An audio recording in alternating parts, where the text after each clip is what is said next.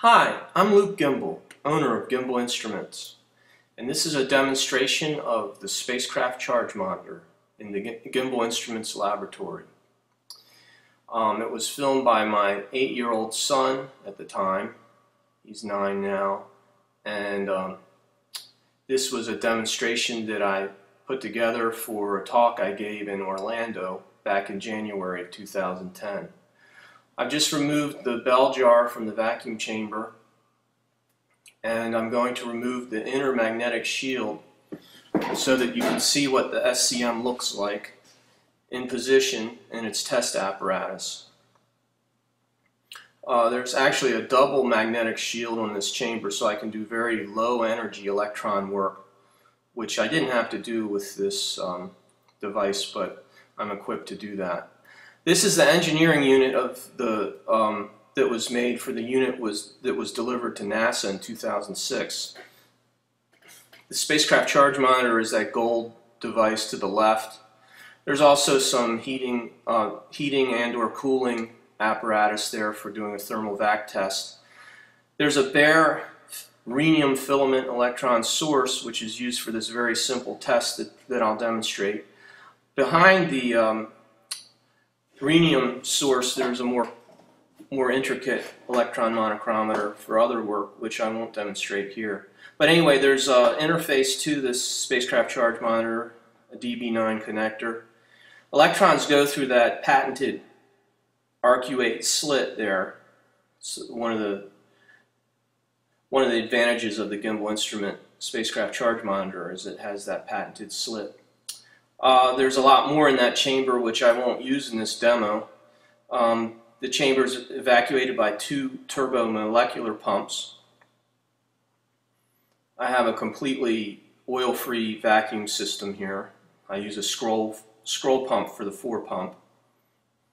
Now I'm going to close the chamber back up, putting the magnetic shield back on. And I designed this vacuum system so I could cycle through um, uh, evacuations and then opening it to the atmosphere very rapidly so that I can make minor adjustments and in, during the research and development of uh, uh, making these charged particle spectrometers. There you can see I'm lowering the bell jar onto the base of the chamber. Uh, there's a viewport.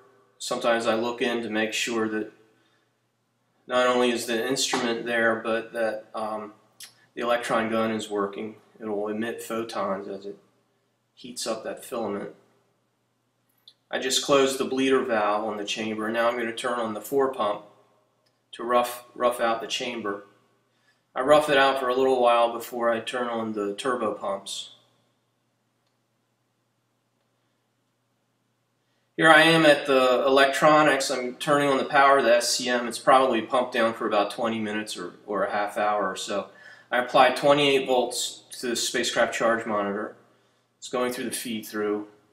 And I communicate with the SCM with a PC. Um, there I am. I'm at the interface to the SCM2. PC sends commands and receives spectra and housekeeping data from the spacecraft charge monitor. We've got a lot, a lot of electronics on this relay rack I'm not using for this demo. Uh, I'm powering on, I'm going to turn on the power supply here to the filament, that rhenium filament, to create electrons to shoot at the SCM. I'm adjusting the current, there it is, I'm going to take it up to about 8 amps to heat up that filament. And there, there's a view of the filament glow I took with a still camera. And here we see a peak being uh, of the spectrum being uh, taken in real time. Uh, there's a 200 point spectrum delivered by the SCM every, every second over a 10 eV range. I'm going to increase the current to the filament and that will increase the flux of electrons or the, the flux in the beam being aimed at the SCM. And as I increase the filament current, you can see the peak in the spectrum rise, which is what we expect. Now I'm going to adjust the, um, the energy of the electrons being emitted by the beam, in the beam. And um, here we have 18 volt electrons. That's at the, the lower end of the spectrum, lower energy end. Now I'm going to increase the energy of the electrons a little bit at a time by increase, increasing the bus voltage. And you'll see this peak sort of walk across the spectrum, uh, across its full range here, which indicates that um, I am increasing the energy of the electrons and the spacecraft charge monitor is detecting them at higher energies.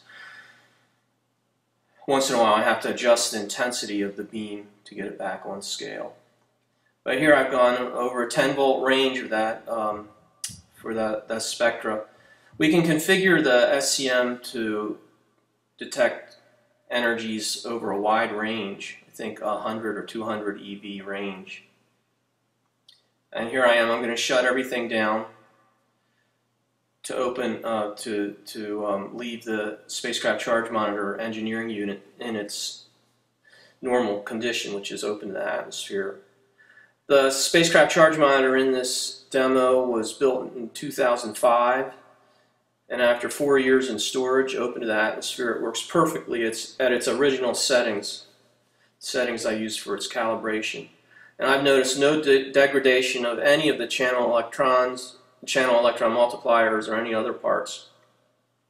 And this is the sister instrument to the instrument that was deli delivered to NASA Kennedy Space Center in March of 2006. For more information, including the final SBIR report, you can go to www.goembel.biz. Thank you very much.